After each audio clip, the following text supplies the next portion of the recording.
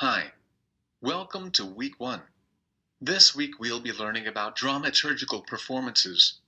You are expected to read the introduction and chapter one of Erving Goffman's The Presentation of Self in Everyday Life.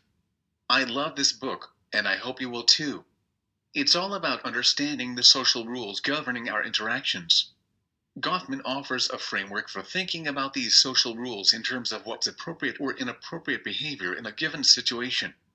Basically, Goffman argues that our behavior depends on the situations in which we find ourselves.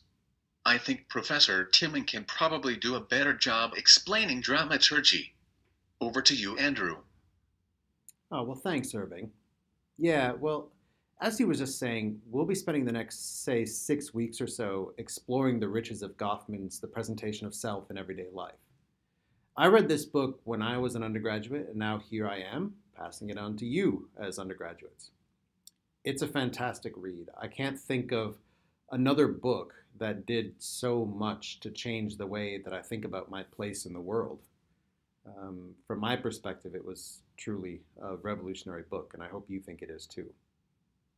Now, before I get into the lecture, I just want to give you a brief history of Erving Goffman's life. Uh, Goffman was born in 1922 and he died in 1982. He's a Canadian social psychologist who spent most of his working life in the United States.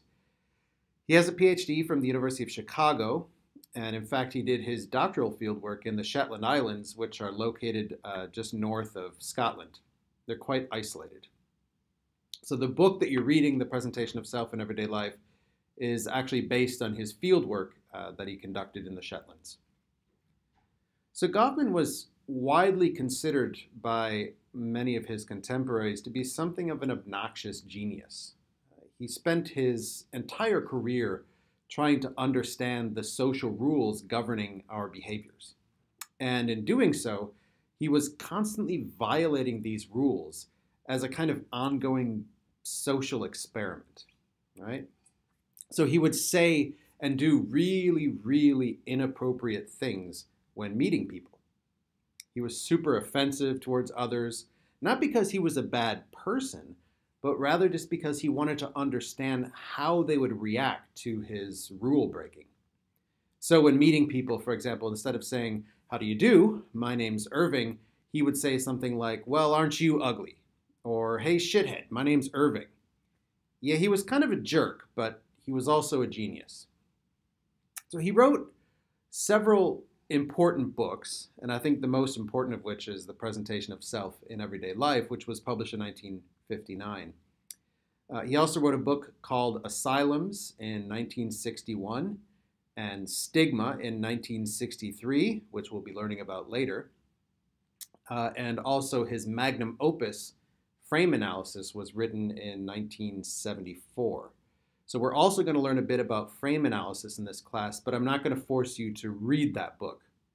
Because whereas the presentation of self is a pretty short and fun book to read, frame analysis is like 800 pages of basically impenetrable text. So you can thank me for that later. Okay, without further ado, let's begin our first lecture on Goffman's The Presentation of Self in Everyday Life. Okay, this is one of my favorite books, and I like it because it's at the same time humorous but also a bit dark and disturbing. You may never look at other people in the same way after you're done reading it, and my guess is that your trust in others may be severely depleted. You can use this book as a handbook of sorts on how to effectively and strategically interact with other people.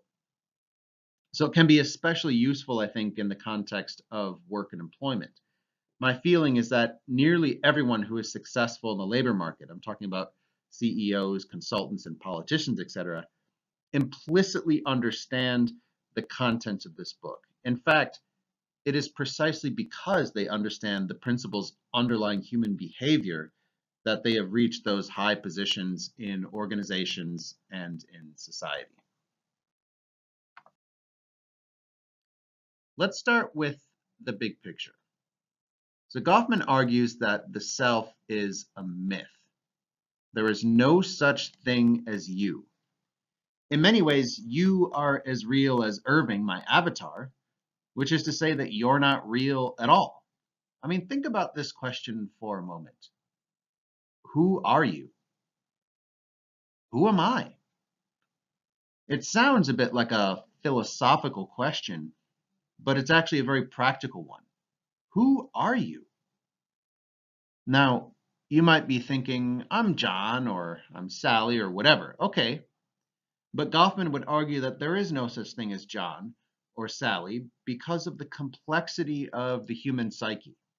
Now, my name is Andrew, and I may assume that that's my identity, that that's my self.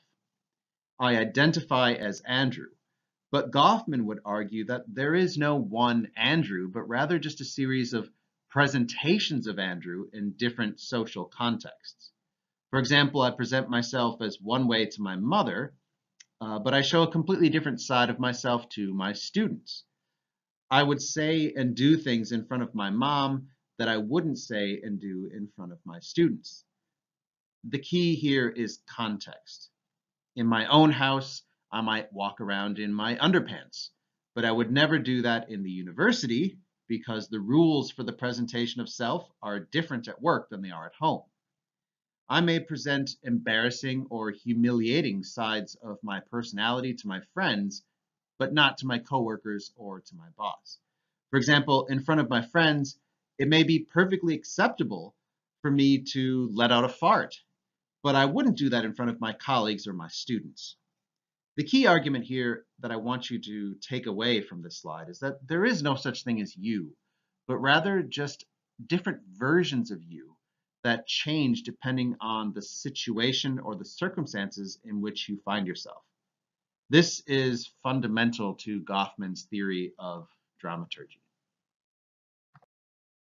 So what is dramaturgy exactly? It's a theoretical lens that can be used to understand human behavior and interactions.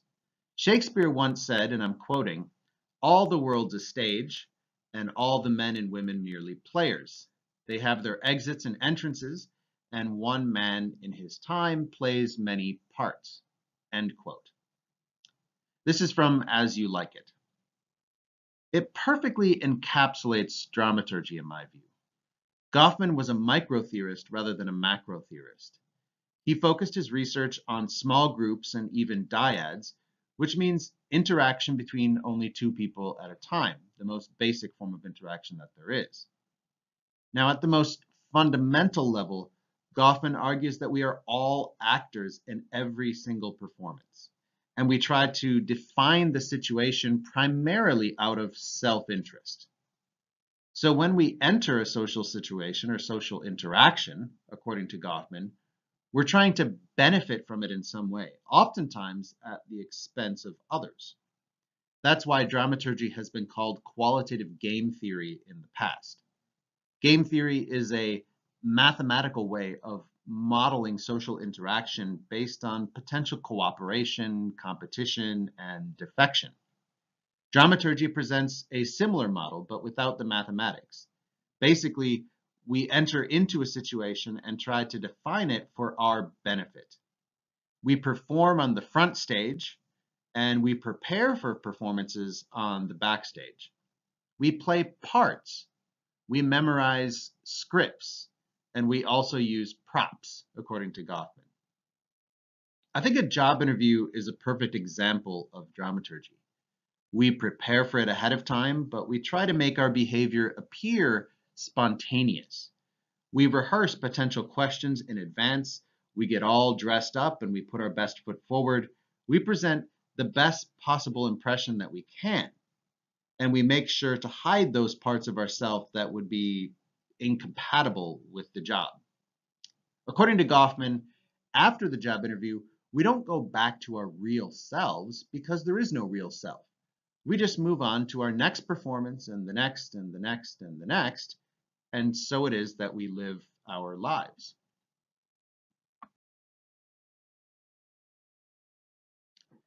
Let's talk about first impressions. Think about the last time that you met a stranger, someone you don't know. How could you tell whether they were friend or foe? Think about it for a second. When we first meet others, we know nothing about their personality or their character. So what we do is to look for visual cues that can tell us something about that person. These appearance signals include cues to, for example, socioeconomic status, trustworthiness, and competencies. We use these cues to predict others' behaviors. For example, let's say you walk into a building and see someone with a white coat and a stethoscope around his neck. You might well think that this person is trustworthy and competent because he's a doctor. Later, you see someone with a black leather jacket and tattoos on the neck. You may well reach different conclusions about that person. So how we present ourselves to the world can help us define the situation in a way that is favorable to us. According to Goffman, the aim of all social interaction is to project or to foster the definition of the situation and to maintain a working consensus about what's going on here. For example, I'm a doctor. You can trust me when I tell you to take this medicine. We'd probably believe the man in the white coat, but not the one with the leather jacket and tattoos on his neck. In order to define the situation, we use both honest signaling, for example, I really am a doctor, and dishonest signaling, which is to say, I'm not a doctor, but I want you to believe that I'm a doctor. So Goffman would argue that most everyone resorts to lies and fabrications on occasion in order to manage others' impressions of them. We make these lies and fabrications frequently, and when they are revealed, we are discredited, and the definition of the situation essentially breaks down often humorously, as you'll see throughout these lectures. According to Goffman, others don't necessarily need to believe that our impressions are true, but they need to act as though our impressions are true in order for the performance to be successful. In other words, it's the impression that counts, not the reality. Okay, let's take just a few moments to go through some of the key dramaturgical terms that you'll find in the first couple of chapters of the presentation of self. This is not a complete list of terms from those chapters, uh, but they are some of the most important concepts that you should familiarize yourself with before moving forward. so Goffman refers to a sign vehicle as a carrier of information about an individual. So for example, we're talking about appearances that can give rise to stereotypes. For example, a suit uh, projects professionalism in the context of a job interview. Impressions given refer to actual words that we use in social interaction, whereas impressions given off refer to the nonverbal theatrical context signaling within interactions. Goffman refers to getting off on the right foot as initiating an interaction with an effective first impression. We want to start off on the right foot. Defensive practices are defined as strategies and practices used to protect a projection that we wish to convey to others. Protective practices, or also referred to as tact, refers to strategies and practices used to save the definition of a situation projected by another. He defines interaction or encounter as the reciprocal influence of individuals upon one another's actions when in one another's immediate physical presence. And he defines performance as all the activity of a given participant on a given occasion which serves to influence in any way any of the other participants. he refers to a part or a routine as the pre-established pattern of action which is unfolding during a performance. Okay, so what can we conclude based on these terms? Everything we wear, from shoes to tattoos, conveys information to others. We project ourselves to others not only with our words, but also with our expressions. Anytime we enter a social situation, We always want to get off on the right foot because it's hard to recover from a poor performance. We use a series of protective practices to defend the impression that we want to create for others. By the same token, sometimes we exercise tact when another's performance is going poorly, but we don't want them to fail. In every social encounter, we play parts or roles aimed at defining the situation and giving a successful performance. Okay, let's take a little break and do an exercise on how to apply some of these concepts to social relations in the workplace. So I'm now going to hand it back to my avatar, Irving.